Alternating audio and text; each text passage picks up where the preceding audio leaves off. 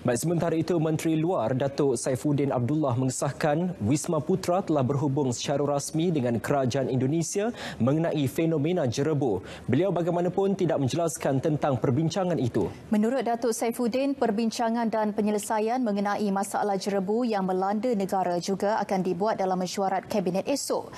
Baru-baru ini Perdana Menteri Tun Dr Mahathir Mohamad dilaporkan berkata kerajaan mempunyai rancangan untuk mewujudkan pelan jangka panjang bagi menangani jerebu rentas sempadan yang melanda negara ini setiap tahun namun turut memerlukan kerjasama negara lain termasuk Indonesia.